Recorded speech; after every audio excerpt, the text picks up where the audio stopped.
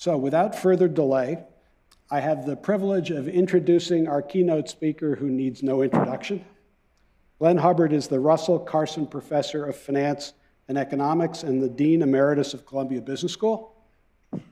Glenn is a specialist in public economics, managerial information, incentive problems in corporate finance and financial markets and institutions, and the faculty director of the Jerome Chazen Institute here at Columbia. In addition to writing more than 100 articles on economics and finance, Glenn has published three books, textbooks, and many others. Uh, from 2001 to 2003, he was the chairman of the Council of Economic Advisors, sits on many boards.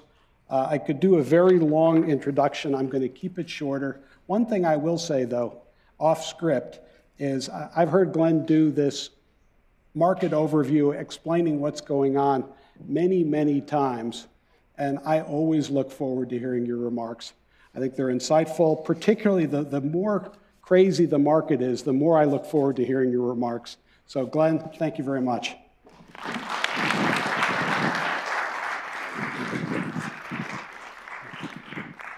Thank you very, very much, David. And thanks to all of you for being here. Uh, welcome home, uh, basically. Uh, when David was referring to the incredible rich network that's used, that's you. As a former dean, of course, I thought he said incredibly rich. My ears perked up, but you're, hopefully you're that too. Um, real estate, to my mind, as a non expert, is of course about location, location, location. And that's why you're here today. Uh, New York is a global capital not only of the ideas and money of real estate, but of global services businesses. Columbia Business School and the Milstein Center in particular play a big role, and then all of you as a network. So, so thank you. I'm going to do two things with you today and uh, take your questions as well. But uh, one that's the shorter part is kind of a short run of, of where we are but I want to talk about a very big question that I think will dominate discussions over the next decade of where we're going to be, not only for the economy as a whole, but in real estate uh, in particular. Uh, in thinking about where the world economy is now, I think it's fair to say many economists have been surprised at how robust the underlying real economy is, at least in the United States. A slower, obviously, uh, in the Eurozone, but robust in Japan uh, by that country's growth standards. And while China is slowing, still somewhat promising growth. At the same time, inflation is beginning to recede from, at least by recent years, scary levels. Although, as I'll comment later, it is not in the United States at 2%, nor is it going to be 2% anytime soon without action that remains fairly uh, restrictive uh, by, by monetary policy, obviously with effects for the economy uh, and, for, and for real estate. Will we have a recession? Honest answer, of course, I don't know. Uh, I think so, though. Uh, it's very hard to imagine the stance of policy this restrictive without at least a mild recession. That's an economy wide statement. For real estate in particular, and I'll come back to this toward the end of my remarks, I expect the kind of recession to look for is more like the early 1990s, uh, not as much of an overall general crisis in the economy, but a restructuring and recapitalization of properties and, uh, and locations. Now, one of the things about the crazy upside down nature that David talked about with the economy is it changes, I think, the way that we as business people have to look at planning. As you know, most corporate plans in any industry uh, tend to follow some kind of expected value, and the CEO lays that out to the board, and then the board and he or she agree on it and march on. I expect we're not seeing as much uh, of that right now, at least I hope not. We're going back to what would have been more common uh, when I was younger, which is old fashioned scenario planning, meaning I may not know much about unconditional probabilities of various things happening, but I may know a lot about conditional probabilities, meaning if this happens, then this. I think more businesses are planning in that way for geopolitics, for financial markets, and as I'll come to in a few minutes, domestic uh, politics uh, as well. In that kind of environment, I think we're moving from a discussion in business rooms of so called mastering cycles. You know, what is it that's moving the current business cycle? More to what I would like to think of as cycling masters. What are the big things that are coming our way? Those big things, I'll mention them in turn uh, today, uh, have to do with the economy and technology uh, and politics. Now, I want to start out with what I think is the big thing, uh, and that is growth. There are two ways of thinking about this. One is um, Robert Lucas, who's late Nobel Prize winner in economics, used to say it's not surprising that economists get caught focusing so much on economic growth because once you start to think about it, you can't really think about anything else, in Lucas's words. And it's easy to see why, because small changes that are structural and long lasting, be they good news or bad news, really spell our future in living standards. The other growth thinker is Willie Sutton, the bank robber, who said it's because it's where the money is. So if you're trying to figure out the future, it's really all about growth. Now, growth is all about something else to a first approximation, uh, and that's about productivity. It's not literally everything, but boy, it is almost everything, particularly in a world where, at least in most uh, advanced economies, demographics are not favorable uh, tailwinds to growth. Now, for productivity as this, uh, as this big thing, if you looked at the United States in the post World War II period, you see several sub periods. Uh, and I say this uh, as an economist looking in a rearview mirror. People like me, or economists generally, tend to be pretty good at looking back and telling you about productivity turning points. We're not really so good uh, at calling them. Uh, Paul Krugman, Nobel laureate in economics, famously wrote a book called The Age of Diminished Expectations on the very eve of a productivity boom. And he's a very smart guy. So this, this is hard. But here are the periods. Post war, the war to the early 1970s, really the golden age. When people wish we had an era of productivity growth, that's the period they're longing for. The second period, going from the 1970s through the 1980s, early 1990s, is a period of quite sluggish productivity growth and sluggish growth uh, in, in real wages uh, as a result. Early 90s, for at least a decade, is another productivity boom, the one Krugman uh, didn't forecast. And that boom came really from the ICT uh, revolution, completely changed um, business. We then go into a period of a structural productivity drop that starts in the early 2010s, and we are still in. What is changing, of course, is the advent of something new.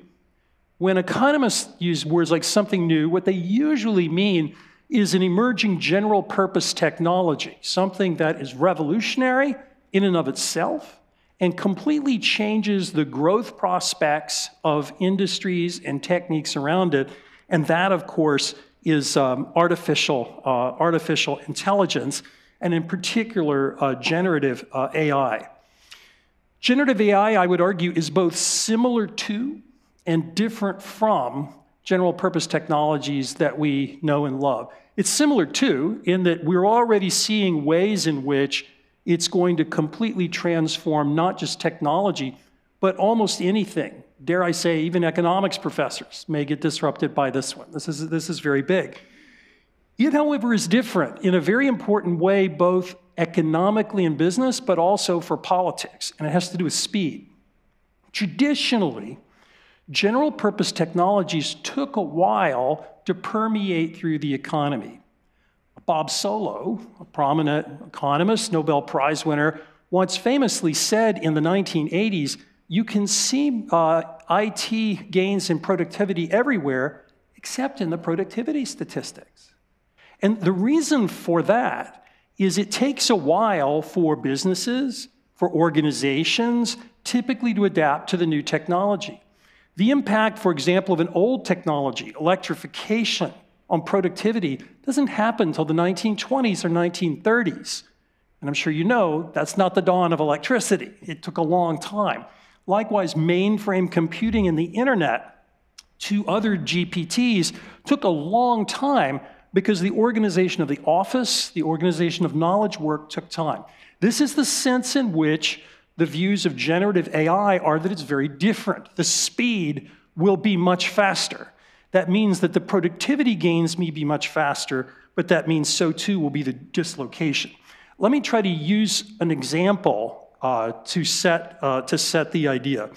If I were to compare the number of days to get to 100 million users across recent technology platforms, it took Netflix 3,000 days to hit that mark.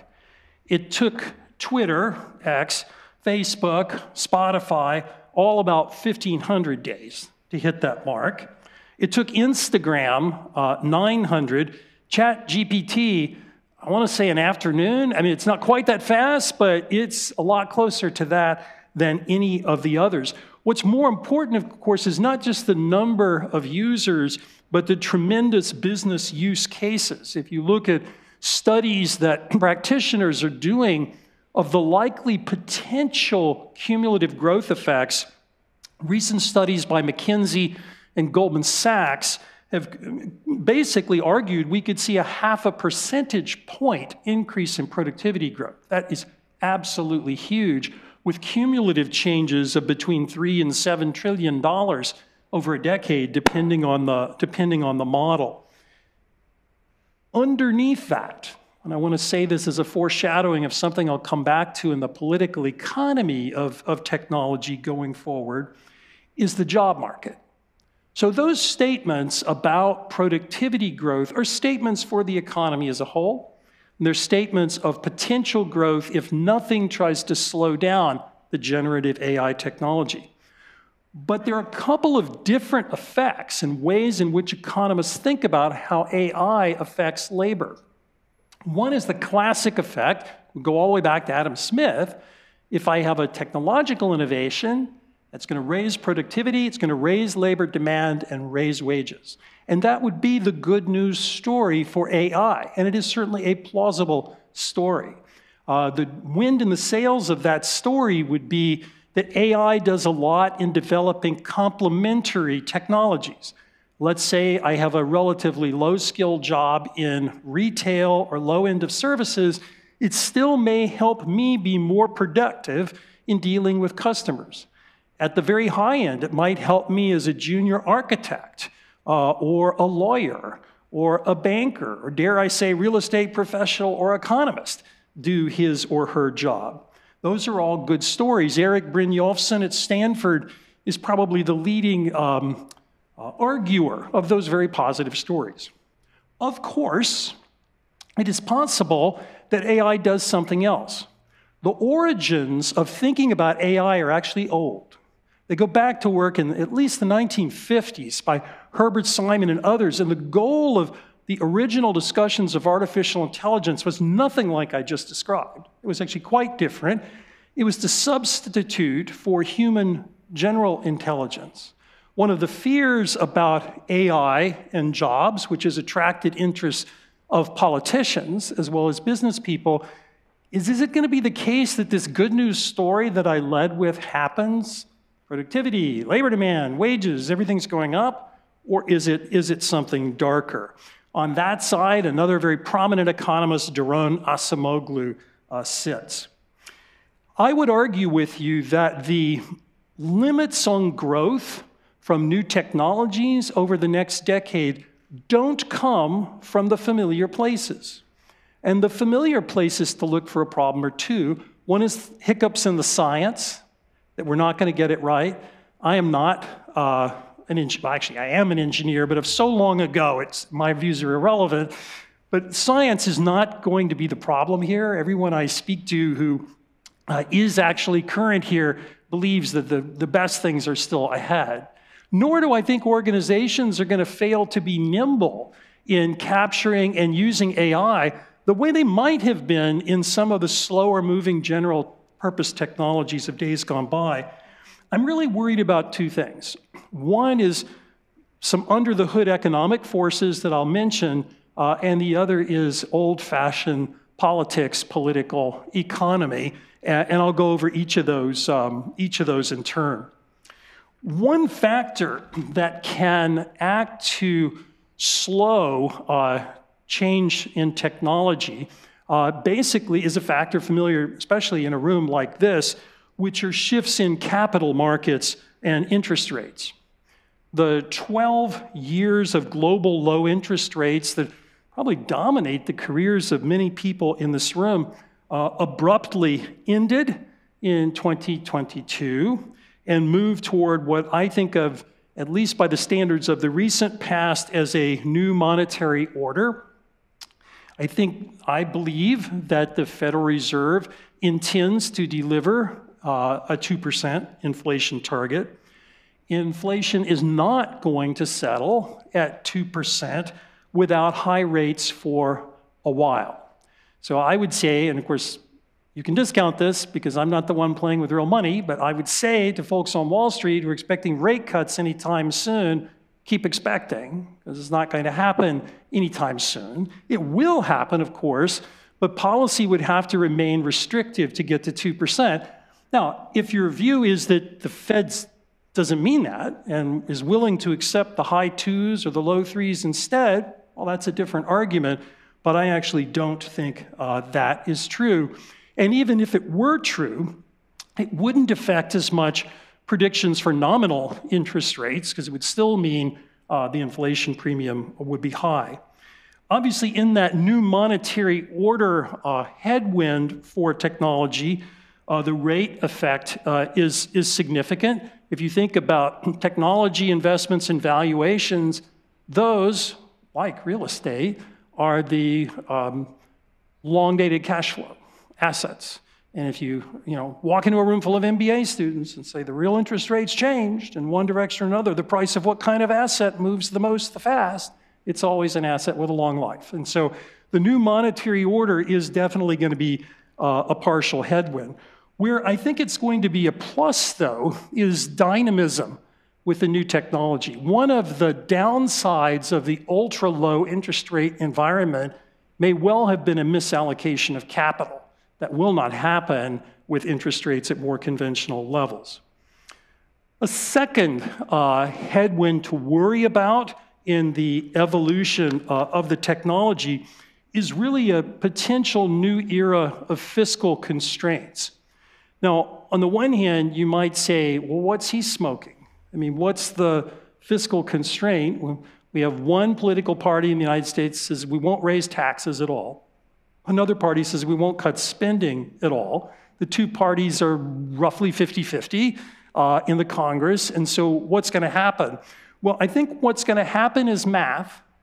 And so, if one accepts the prospect that defense spending needs to rise, that spending on things complementary to this new technology boom, i.e., basic and applied research and support for adaptation to the policy need to rise, in the presence of already structural deficits, we may well have some fiscal, fiscal headwinds.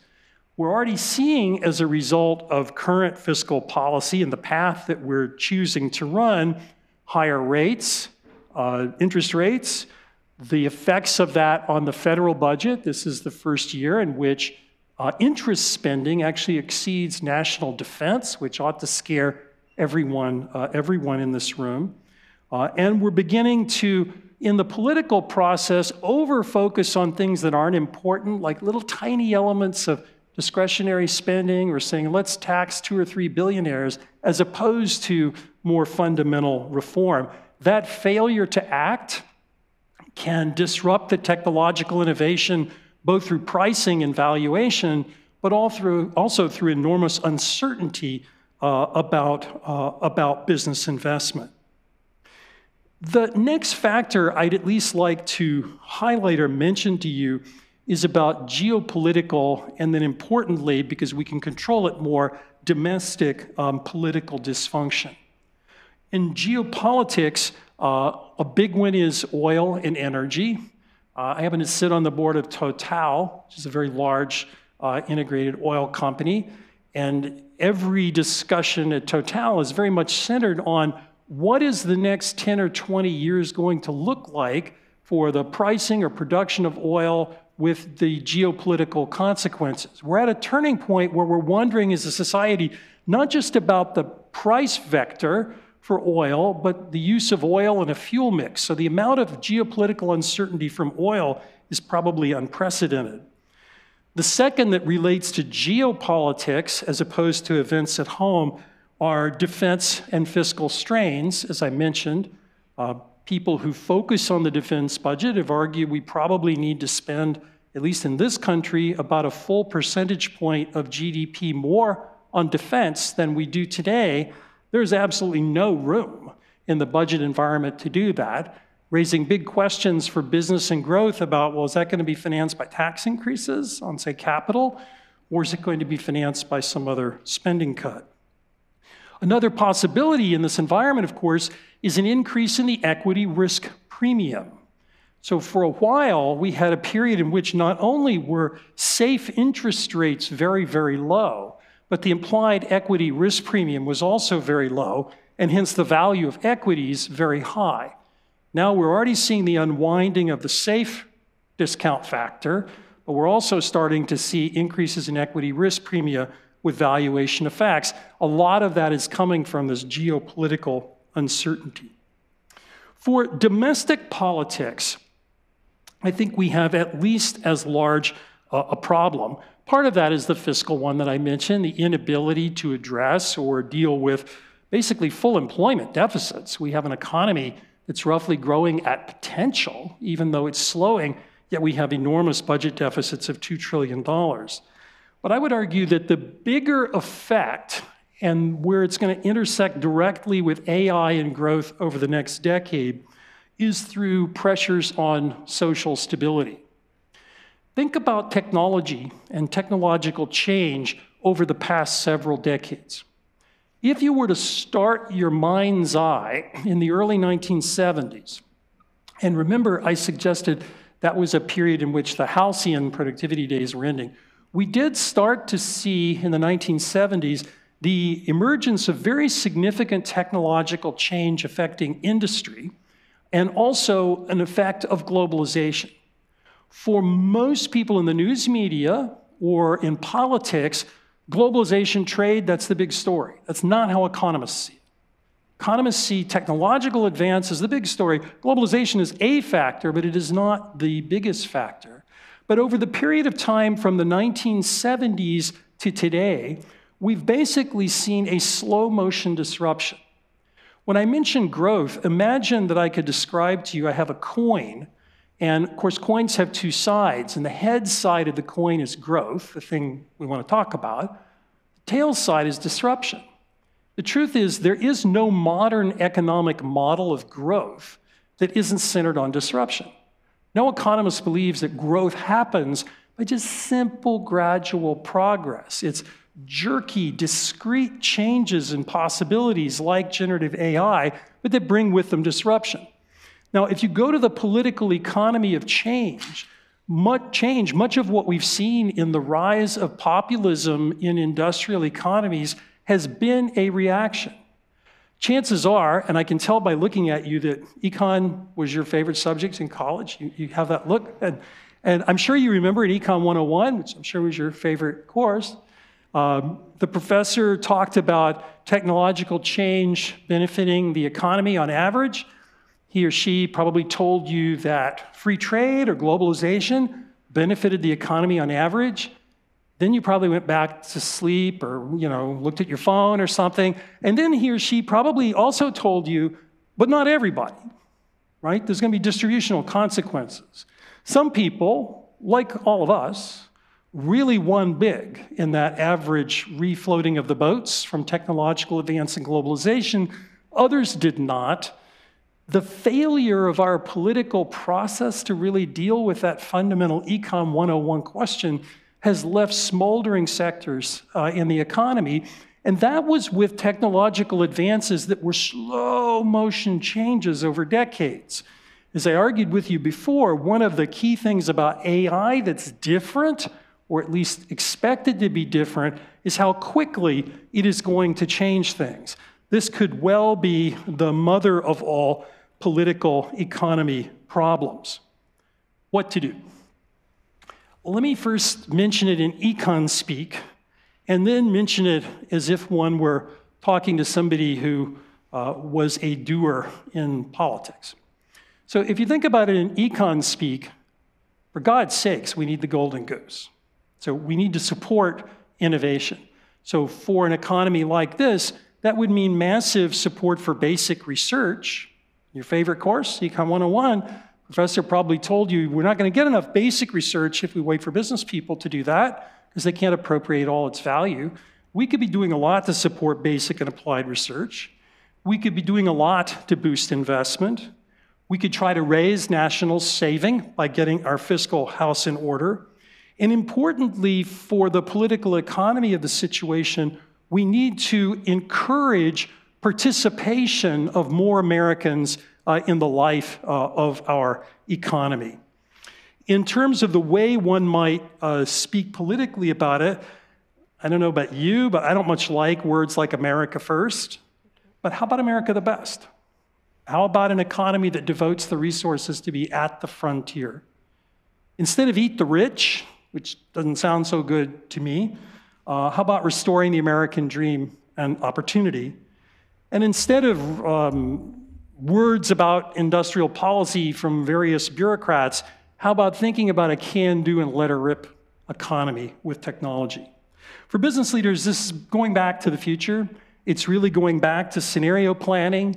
It's adding a twist of thinking about the social support for business that we all took for granted and may not be there, and staying focused on that high productivity and high growth future.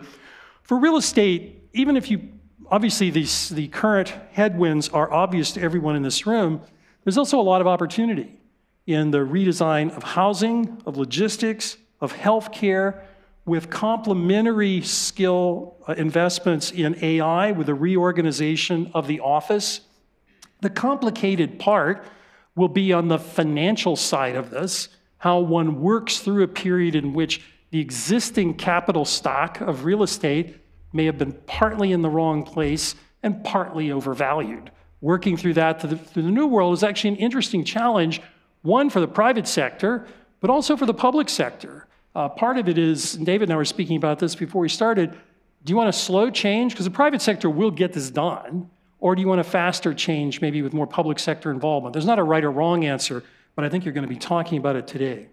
So let me stop there and thank you, but I did want to allow some time to take uh, any, any questions you have. I think you have smarter panels than me coming. You're probably going to answer them, but I'll do my best if you have a question. Yeah. I, don't know if, I think there's a mic coming, but.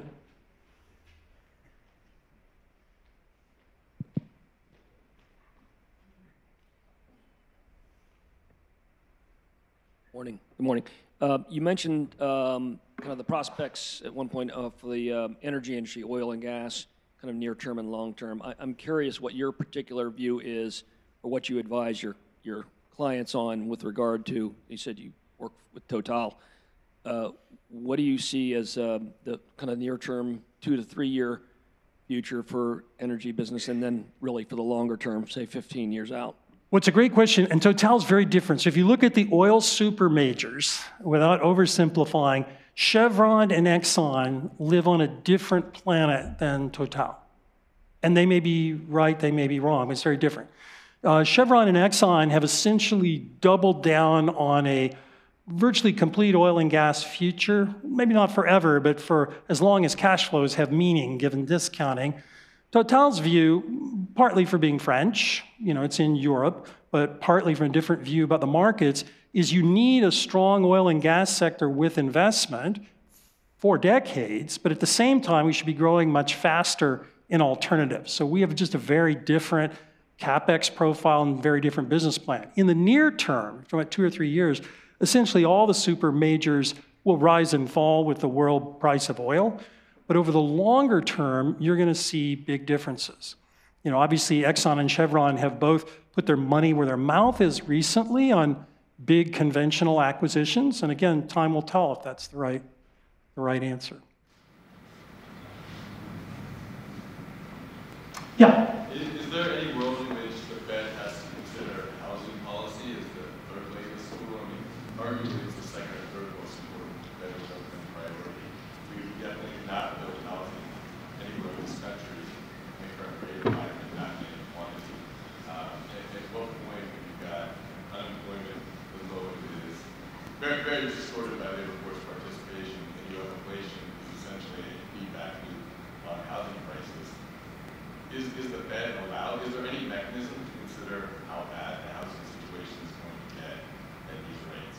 Well, let me step back. That's a great question. Part of the trouble for monetary policy is it works through a few channels and mainly those channels. So, really, it works principally through interest sensitive spending, which is mainly durable goods, uh, housing and other durable consumption assets. And in an economy that's increasingly dominated by services, it's really hard for the Fed to engineer the changes it wants to, even going up or down, because its old interest sensitive levers aren't as powerful as it used to be. I'm sure the Fed's paying attention to the housing market as it does everything else, but it's not the Fed's mandate. It is, however, Congress's concern. Uh, and I would say that one issue, of course, is in the US, we believe we have a God given right to 30 year mortgages that can be prepaid. They're not orthogonal to your question uh, either, because you, know, you do have you know, a lot of people sitting on 3% mortgages that say, no, thank you, I'd, I'd, I'd not like to exit that transaction. So a lot, this is very complicated, but I don't expect the Fed to put housing ahead of its inflation target, if that's the, if that's the question. Congress, though, maybe. Yeah. questions, but one just to follow on. Do you have any comment about, do you have any comment about Freddie or Fannie and the GSEs and their status and whether they could be used to further housing policy? And then uh, another DC question, just, I think you were affiliated with the Bush administration and you're in DC quite a bit. Um, and given your comments about AI and how fast it's moving, the, the 2024 election must be very important to how AI is handled in the country. Do you have any comments on the outlook for that election or whether there's a good or a bad outcome as it relates to AI and how the country deals with it? I can think of multiple bad outcomes in the 2024 election for AI. I, I don't think the likely candidates are probably deep thinkers in, in, in AI. I mean, I, I think a, a question that might be easier to answer is whoever gets to be our next president, will he or she think about a different organization to deal with that? I mean, having sat in the White House, if you were thinking about, um, let's say, a financial crisis, it's easy to imagine the players you bring together quickly to advise the president on that.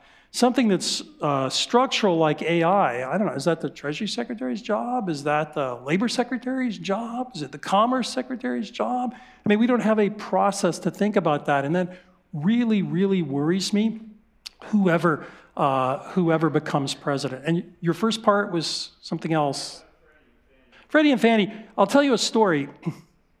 I must have been on the job at CEA for two weeks. And I gave a speech in Washington where I said, I like Freddie and Fannie so much, I wish there were more of them.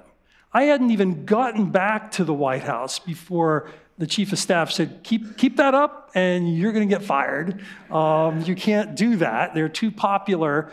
Uh, so that sort of says my views.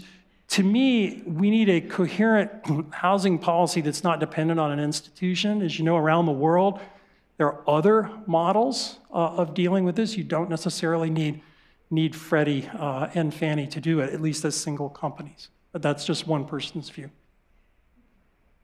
Uh, yeah, well, here, we'll do one over here and then over here. Yeah. A few things that you said. Uh, you thought there's likely to be a recession potentially. Uh, rates will remain higher. Um, what is your view on if there is a recession, what gets us out of that recession, assuming we, it's caused by high interest rates and the inability to, spend? Um, is, it, is it generative AI? Is it, is it something else? Like what, what is the catalyst for growth uh, if we enter a recession? Well, I think technology is going to be an important part of it, but I don't expect the recession to be very deep. You know, in an economy like we live in, that's highly services, if you want to get a deep recession, you'd have to imagine something exogenous like a financial crisis, an asteroid hits us, a geopolitical event, something like that. So I don't think we're talking about um, you know, pulling ourselves out of another 2008 So in that sense, I don't think it takes very much to, to right the ship. And obviously, once a recession is underway, you will start to see short-term rate cuts. But I think the policy itself is still going to be restrictive for maybe longer than markets would like. Uh, there was one over here. Yeah. The, the debt levels in the US are massive and growing. When does it stop, if at all? Well, the word credit has a Latin root, credo, and that means I believe. And so that's what credit is. It is extended until it's not, until the belief is gone. Uh, right now, I think most people in the political classes could look at economists and say, why are you guys wringing your hands so much? I mean, at least until recently, the cost of debt was very low uh, in the United States, States, and even today, by historical standards, it's hardly off the charts high. That said, I think the way I think about high levels of debt, if you mean by that the public debt, is not so much that it's going to raise interest rates that much. We have a global capital market, that's probably not going to happen. But it does mean one or both of two things that tax burdens have to go up in the future. And business people, all of us as households, we figure that out today and adjust. Or that we're going to have to start cutting spending on something. I mean, that's just math. There is no door number three, inflation, but that's just a tax. So I, I think that the public is starting to wake up, but still very, very slowly. If somebody were to ask me, is, are we going to talk about debt in the 2024 campaign? I'd say absolutely not. I'd be stunned to hear it, hear it mentioned. So far, to my knowledge, we've had only one candidate in all the debates even mentioned. Is that the cane? Okay, thank you for having me. Bye bye.